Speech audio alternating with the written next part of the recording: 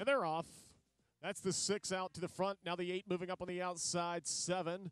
Five is right there. Three, one, four, and two. The five, Jake's Crazy Jane. Eagerly now establishing the pace by two. The six, PG Mosby is second. The eight, CRT Zoe.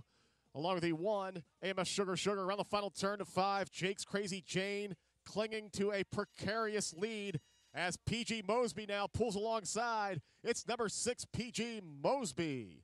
Six, seven, five, and one.